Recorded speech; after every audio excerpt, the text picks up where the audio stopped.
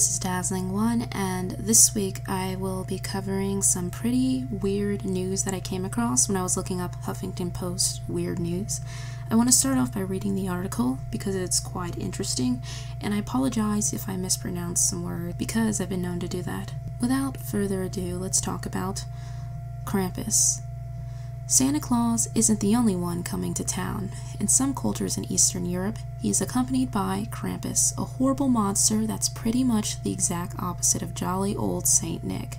Instead of giving presents to good kids, Krampus snatches the bad ones. On Saturday, the village of Kalpais in the Czech Republic celebrated what just might be the creepiest Christmas tradition ever with a parade of people dressed as Krampus. While Krampus festivals have been celebrated for generations in the Tyrol region of Austria, they are becoming increasingly popular in the Czech Republic. There are a lot of different stories or tales about what Krampus will do to you if you are naughty, Molly Bach, a resident of Vienna, Austria, told the Orion, but he travels with a broom type thing to hit kids with. The broom type thing is usually a bundle of sticks. A Krampus festival in Austria got out of hand earlier this year when at least one of the actors began beating people with the sticks. Five teens sustained injuries. My daughter now has a cast on her right hand. Both her feet are covered with welts and are swollen and bloody, an angry parent told the local. The violence has nothing to do with the tradition. The Krampus costumes at the Kalpais parade were quite elaborate. Getty Images reported that they were often made of sheep or goat skin and had large cowbells attached to the waist. Krampus has origins in pagan traditions in Germany, where he was originally one of the sons of Hel, the Norse god of the underworld. Smithsonian Magazine reported, Since Krampus was so downright terrifying, especially to those who were not familiar with the festival, officials in one Austrian community visited newly settled Syrian and Iraqi refugees to let them know what to expect when St. Nicholas and the Krampus creatures knock on their door. Social worker Nicole Cranebitter told NBC News. She said the newcomers had lots of fun with the celebration. This year, Krampus has received a little more attention than usual with the release of the holiday horror comedy film Krampus. To date, the movie has earned more than 28 million at the box office. So, this creature was interesting to me because A, Krampus means claw, also, Krampus is considered the evil sidekick of Santa Claus, and he's a mythical Christmas demon, and he's a part of pre Christian Alpine tradition. And what is interesting about this is that in 2004, because of a series of books by Monte Beauchamp, it did much to familiarize Americans with Krampus. In Austro Bavarian Alpine folklore, he is hairy, usually brown or black, and has the cloven hooves and horns of a goat. His long pointed tongue lolls out. Some believe it is linked to Germanic paganism, although the origins of the creature are unclear. In Norse tradition, he's said to be the son of Hel, and in 1958, Maurice Bruce wrote, There seems to be little doubt as to his true identity, for in no other form is the full regalia of the horn god of the witches so well preserved. The birch, apart from its phallic significance, may have a connection with the initiation rites of certain witch covens, rites which entailed binding and scourging as a form of mock death. The change could have been introduced as a Christian attempt to bind the devil, but again, they could be a remnant of pagan initiation rites. So, what I found interesting about this, as I was pointing out, was that it's hairy all over its body, it has horns, it's often resembles what many think the devil looks like. And just going back to previous videos that I did, it to me looks a lot like a Yeti kind of figure, or what some might think of as Bigfoot. And it also seems to resemble what I might say a satyr would look like, or Seirim or Shedim from Jewish folklore, or the satyr from Greek mythology. And I talked about in the video I believe I did on Movies Decoded, and I did in another video, that in New Orleans, the whole Mardi Gras is a ritual to the fertility god Pan, who is a satyr in appearance. And the Sedum or Seirim were goat demons believed to reside in the desert, much similar to the Jinn of Arabic folklore. Jinn, also called genies, which is where this whole concept that you can have a genie in a bottle and you can make a wish, are said to take on various forms. From what I've heard, there are three different types. Some look more like what we would think of a fallen angel. They have large wings, they're solid, sometimes horned. Others are more like smoke and vapor, they can disappear, and others are spirits and like I said earlier, they can take on the form of anything or anyone that they want to and trick you. And then we would most likely think of them as fallen angels or demons. So it's interesting to see once again that this figure or these types of creatures pop up in other traditions. It also is interesting to me because this weekend I was showing someone a documentary. I believe it was Hollywood Full Disclosure. You can look it up. It gets taken down a lot, and I had to look it up because people are always re uploading this stuff. And in it, he covered everything from Star Wars to Batman, and he opened it by talking about how Hollywood tells you the same story over and over again. They just have to find a new way to tell it to you. And he started with a movie made in the 70s based on a novel that was The Man That Would Be King, and he connected it back to the Book of Enoch and the story of Semjaza and Azazel.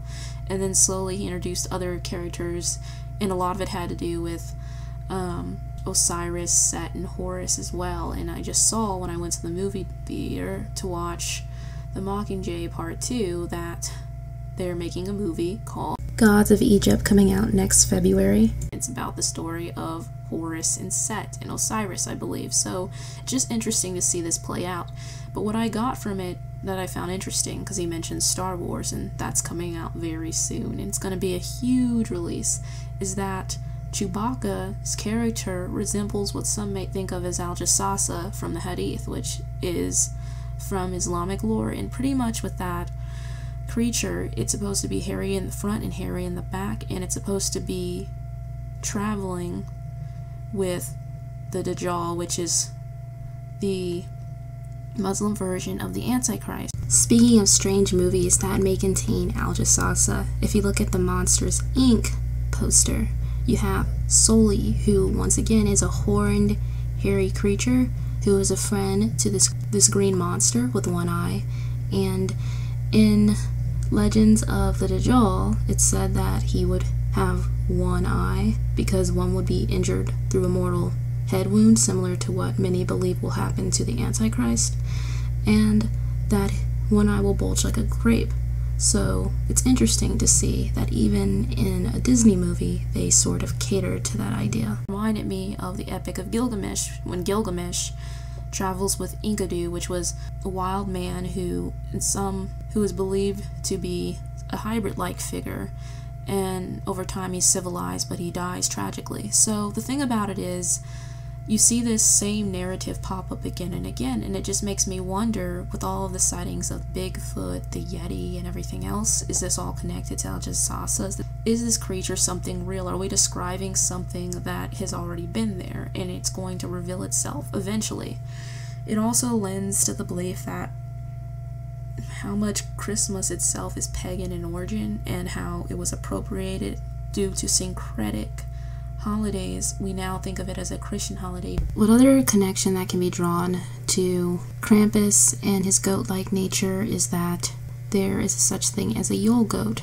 In the video I uploaded last week, I showed you that there was a pagan wheel of the year, and this is what our lovely Gregorian calendar is based off of, and that is why I'm not a fan of holidays. And during this time, it is Yule season, and there is a Yule goat, so I thought that was another interesting connection you could draw there. Christmas tree itself is a phallic symbol, and it's also interesting that this Krampus figure is associated with a phallus as well, from the account that I read you by Maurice Bruce, and witches and initiation rites, and satyrs were also associated with the phallic symbol, as was Nimrod, who they based Osiris, but really Nimrod and Osiris, its true form is from Azazel, because as I've talked about before, there have been two world orders already, and we're moving towards the third one. The first was in the antediluvian world, when the Watchers reigned and they set themselves up as false gods, and Azazel ruled is what we might think of the Antichrist figure.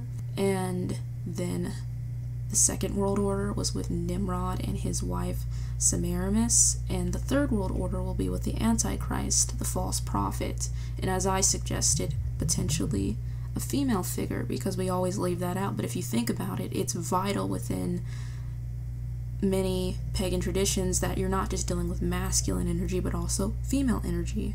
And this whole idea that the Holy Spirit is feminine in nature, which is not true, but many people believe this, and a lot of it is a bastardization of the understanding of the word. Some of it, I think, is confusion. It lends me to believe that there will be some type of female figure as well.